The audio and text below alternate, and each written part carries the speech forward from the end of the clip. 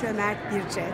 I'm a member of Kagider, which is the um, Entrepreneurs Association of Turkey.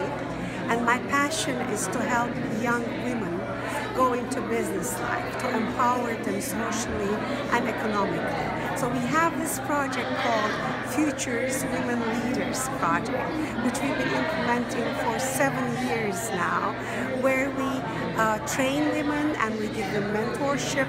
We put them communication network among themselves, and this network also includes the trainers, volunteer trainers, where these women find jobs for each other or help each other find jobs. They ask us interview questions, or when they're in need, they cannot uh, set a target, or uh, if uh, they want us to help them make decisions between two jobs, or between going to masters or going into business life, we help them.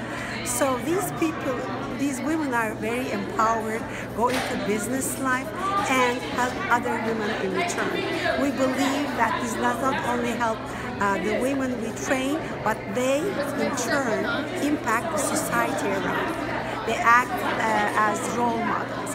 And my dream is continue this project in Turkey with a group of professionals we have and with my uh, colleagues who are volunteers and also see this project emulated in other countries around the world. We are ready to give them the technology and the methodology to do it in their own countries. Thank you.